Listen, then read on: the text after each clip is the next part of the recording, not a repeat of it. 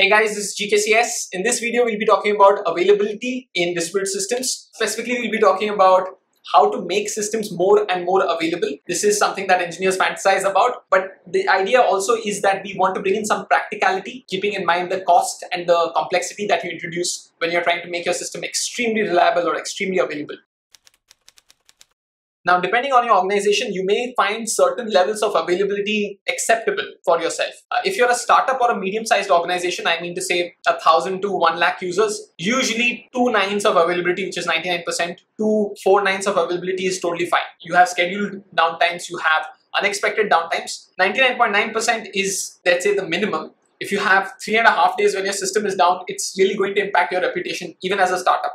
People will consider you know, if I purchase this thing for three days in a year, I won't be able to use it. What if those three days are when I really need it? And also, of course, you lose customers. The moment they see that your page is down, they don't say, okay, I'll come back tomorrow. They just say, oh, okay, let's never come back here again. For medium organizations, having a downtime of one hour a year is totally fine. You may have this scheduled downtime, you may have it unscheduled. People will not be too upset with you for such a problem. The way you do this is making your systems highly reliable, either using a cloud solution provider or investing heavily in your own engineering capabilities. This means that you remove all single points of failure through redundancies or cluster architectures. And most importantly, you have monitoring systems which ensure that you're able to catch an error quickly and then look at resolving it. Finally, you have mature companies who are highly reliable. This is at five to six nines Finance is, I think, a practical situation where you have Google, Facebook, Amazon. Uh, five minutes of downtime a year is fine. Worst case scenario, you're down for five minutes. It's not that big a deal. You can also aim for six nines of availability, which is almost no downtime in a year.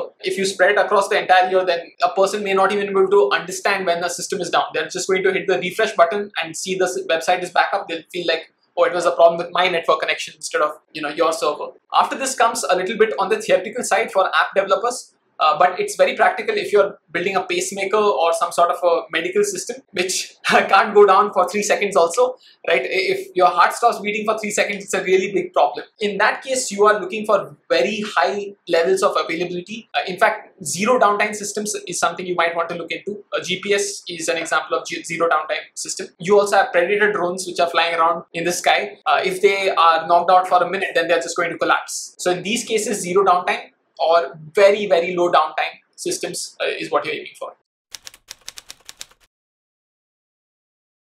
So how do you choose what you should do? Let's take a war story. Let's try to understand what concepts or principles we should apply when we are faced with this situation practically. This is our startup InterviewReady. We have one server which is running a monolith application. We have one cache which is an in-memory cache. So the cache also runs on the server. There's no Redis or anything. We have a CDN. Yes, that is a CloudFront which is backed by S3. And most importantly, we have a database, which is Postgres. And this server was hosted in the US. The reason for this is basically we did it wrong. As a startup, we were trying to spin up a database and we chose USA region. Yeah, that sounds pretty fast. Let's just add it. But most of our customers are from India. If there are customers in the US, we try to cache responses in memory and serve them quickly. But since 60 to 70% of all requests come from India, it makes sense for us to have the database in India to reduce response latency. So what do you do? So at this point, we made a decision to migrate the database that we had in the US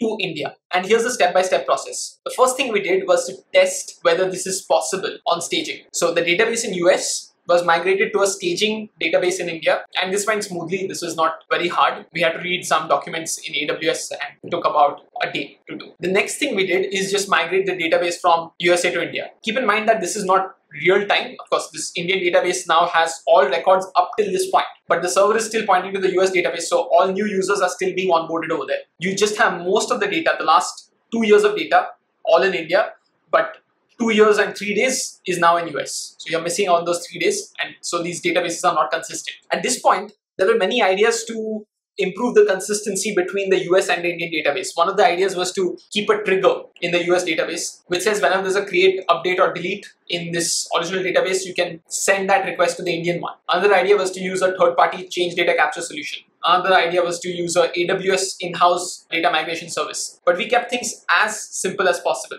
We'll run an SQL query later. Yeah, we don't need a trigger. We don't need binlog from MySQL. We don't need anything. Just need a simple SQL statement. Now we need to switch this pointer in the server from the US database to the Indian database. So the second part of the migration comes in, which is downtime. So what we did is we first saw how much downtime do we need to migrate all the records for like a day from USA to India. And we saw that it's a startup. It takes less than a minute. Uh, but of course, we connected with users and said that you know there'll be a downtime for 15 minutes. We took some buffer, and then we updated the website banner saying that you know the website is going to go down in three hours, and then two hours 59 minutes, and then so on and so forth. We also had a email notification that we sent to all users. Time we chose was pretty interesting. We chose 2 p.m. Indian time weekday. InterviewReady means that people are preparing for interviews. They don't usually do that in office at 2 p.m. right lunchtime. So that was a good time for us. Also, everybody in USA is sleeping and everybody in India is awake but they are not working on the interview preparation. The benefit here for us is that our team is well awake. So I don't need to call them at 2 a.m. in the night unnecessarily. And the fourth thing is we had a war room. A war room is a place where all of us get together. For us, it was a Slack huddle where we ensured that the things are working fine. Finally, we made this transition from the US to Indian database. And here we kept things as simple as possible. A single SQL query migrated all the differential records from USA to India, and then we killed the USA database. We saved some cost there.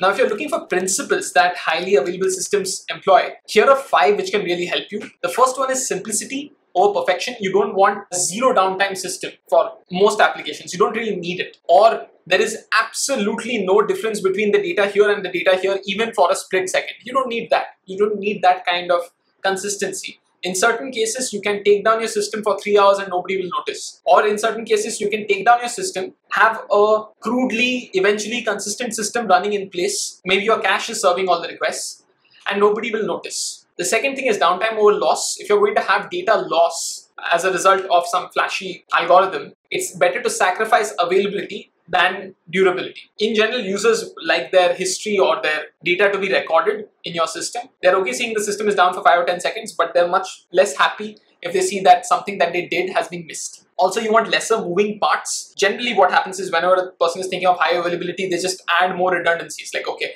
this is going to have a primary replica architecture this is going to have another failover, another backup. If you have many moving parts in your system, often what ends up happening is the chance of it failing increases. Uh, and usually redundancies don't bring in an increased chance of failure, but they're useless. What you ideally want to do is keep your system, again, as simple as possible. So the number of lesser moving parts you have, the number of lesser things you have to think of, the more reliable your system is. The fourth idea is relevant to medium to large sized organizations, in my personal opinion, uh, right? It's chaos engineering or practicing failure. The concept has been popularized by Netflix, who say that if a part of your system fails, that is perfectly normal.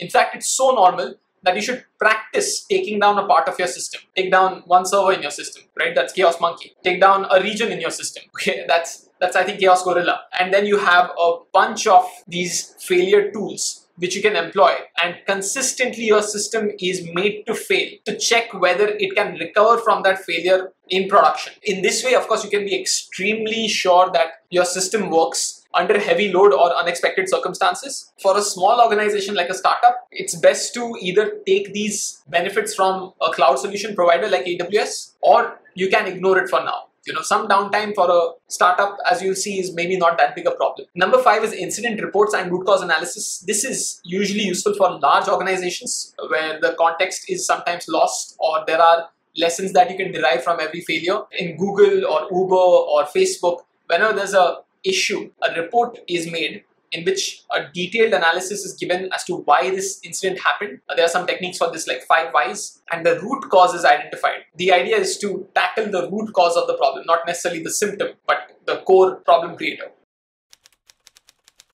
Uh, let's say you have this system where clients are connecting to your server, which is backed by a database, and one of the clients has an issue. It cannot connect to your server because of some network problem. Practically as a person, if you have a problem with one of your routers at home, you may have a backup router which you connect to or you connect through your mobile network. Networks also use backup routers which redirect your request to any given server. So let's say you're trying to connect to IP address 192.52.0.0. If one of the routers which promised you a path to that address fails, then you can try the next router which says that yes, I also have a path to that address. So the idea here is redundancy. If something fails, then you have a backup route. One thing you have to consider is cost. There's lots of algorithms here, minimum spanning tree, minimum spanning tree with faults. Uh, many practical aspects of graph algorithms can be brought into networks. networks are a mature concept and because the costs are so high for getting the routes slightly unoptimized also that it makes sense to use these algorithms here. But the concept is pretty simple. You just want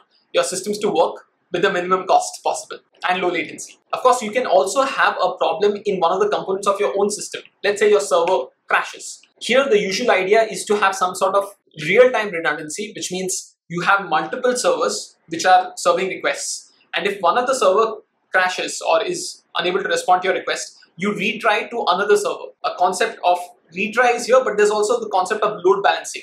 The Indians are probably connected to the Indian server. If they are unable to connect, then they go and hit the US server. The benefit here is that you can add and remove servers from your configuration dynamically here. So if there's too much load on one of the systems, it dynamically routes to another system. Finally, you come to the most dangerous kind of fault that you can face as a engineer, uh, which is your database is collapsing. So in that case, usually you have a redundancy mechanism, which is a replica. So while this DB is running, it constantly sends messages to a replica. The replica is consistent with the primary database. So when there is a fault, the replica can be promoted to primary and the server can redirect all requests to this replica, which now takes all read and write requests. The benefit of this is that the switch is really fast. It's a very common architecture. So most cloud solution providers provide it. I wouldn't say most, I would say all cloud solution providers which are worth using provided AWS, GCP, everybody does. In fact, many systems also use this read replica. They don't let it go to waste. You have servers which are connecting to this read replica to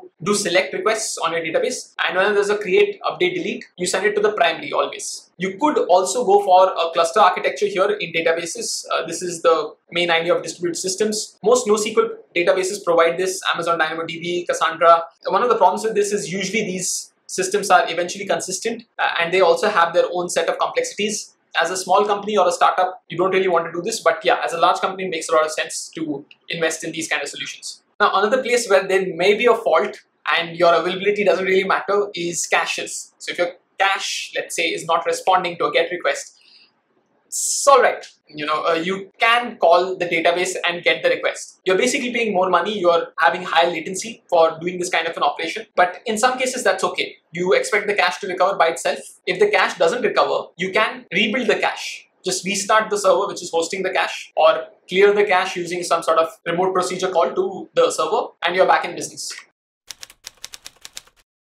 So that's it for availability in distributed systems. This is an interesting concept. Uh, if done right, then it can really help you. If done wrong, it's a bit of a problem. And as an engineer, it makes sense to either reuse some of the already highly available systems out there and if you can't, then it's good to have a principled approach to this problem. Thank you so much for watching. Let me know if you have any doubts or suggestions. You can leave it in the comments below. Until next time, see you. Bye-bye.